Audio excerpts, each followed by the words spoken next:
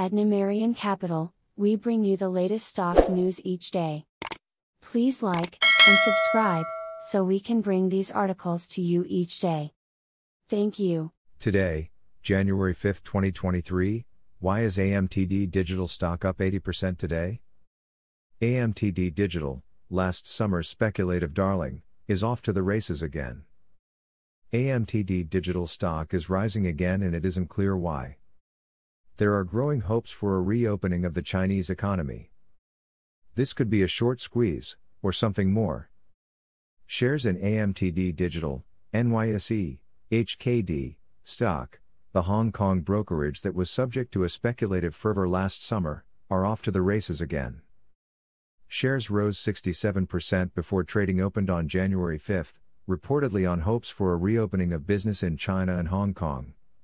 China plans to reopen the border between the mainland and Hong Kong, where AMTD is located.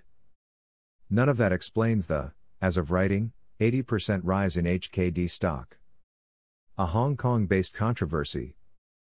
Watching the pre market action, speculators at StockTwits talked up a short squeeze. But we've been here before. HKD stock closed above $930 per share last August. Our David Moadel warned investors away back then. While it got another bump in September, it opened 2023 at about $10. AMTD claimed to have a metaverse unit called SpiderNet and had initial support from the CK Hutchison conglomerate. But that was later disavowed. Chairman Calvin Choi is controversial. Supporters call him a master of audits. Detractors call him a fraud. The scrutiny was heightened after the August run up. Choi also founded the AMTD Idea Group, which bought the French fashion magazine L'Officiel last year and has been linking Chinese designers to it. There has been no speculative fervor in AMTD stock, which rose overnight in sympathy with other Chinese stocks.